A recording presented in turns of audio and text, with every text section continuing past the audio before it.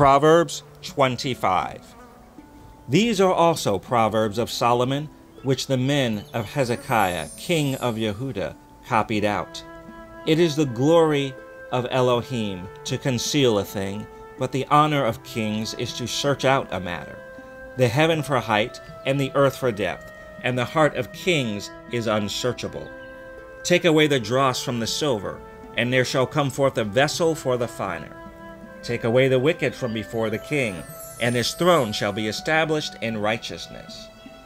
Put not forth thyself in the presence of the king, and stand not in the place of great men.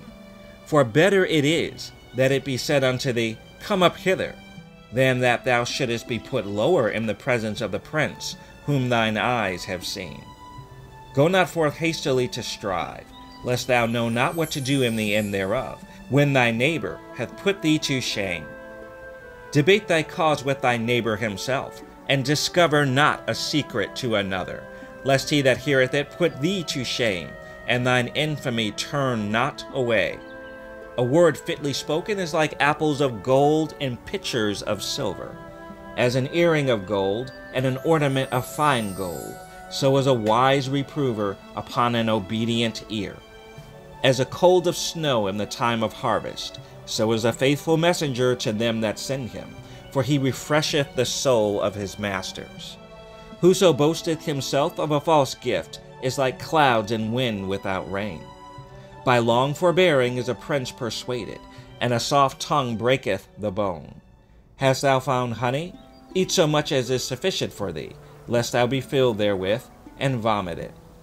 Withdraw thy foot from thy neighbor's house, lest he be weary of thee, and so hate thee. A man that beareth false witness against his neighbor is a maul, and a sword, and a sharp arrow. Confidence in an unfaithful man in time of trouble is like a broken tooth, and a foot out of joint. As he that taketh away a garment in cold weather, and as vinegar upon nitre, so is he that singeth songs to a heavy heart. If thine enemy be hungry, give him bread to eat, and if he be thirsty, give him water to drink. For thou shalt heap coals of fire upon his head, and Yahuwah shall reward thee. The north wind driveth away rain, so doth an angry countenance a backbiting tongue. It is better to dwell in the corner of the housetop than with a brawling woman and in a wide house. As cold waters to a thirsty soul, so is good news from a far country.